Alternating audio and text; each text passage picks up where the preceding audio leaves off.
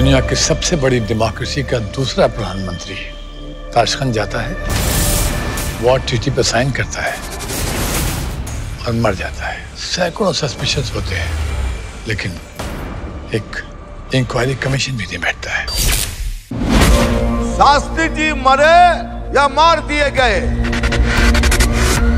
ये इस देश के मुँह पे ऐसी कालिक है जिसे मिटाने की 50 साल में किसी सरकार ने कोशिश नहीं की।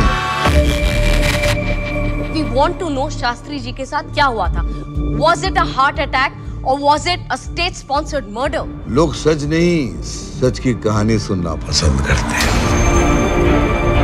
शास्त्री जी का पोस्टमार्टम क्यों नहीं किया गया? उस दिन शास्त्री जी को थर्मस में दूध किसने दिया था? क्या उसमें जहर था? उन्होंने बजर या बेल दबाया क्यों नहीं?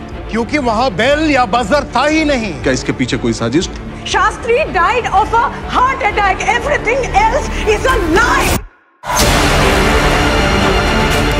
Lal Bahadur Shastri का केस हिंदुस्तान का सबसे बड़ा कवर अप है। अरे शास्त्री जी क्या खुशखबरी लेके आ रहे थे?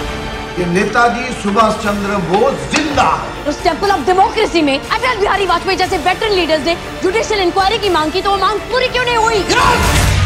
एक प्रधानमंत्री को जहर दे दिया जाता है पार्लियामेंट में अटैक हो जाता है बॉम्बे में ब्लास्ट। कुछ मत बोलो सेकुलरिज्म। इस कमेटी का मकसद सच जानना नहीं बल्कि एक झूठ क्रिएट करना है।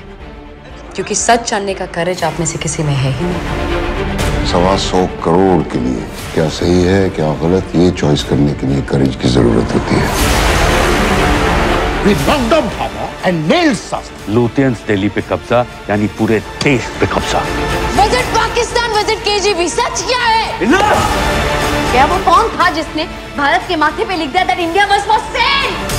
अभी सिर्फ़ शास्त्री जी के बारे में नहीं एक सिटीजन के राइट के बारे में है माई राइट टू ट्रूथ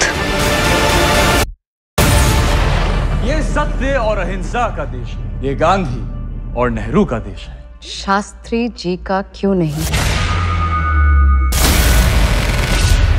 कौन कहता है कि मरे हुए पीएम से किसी का फ़ायदा नहीं होता।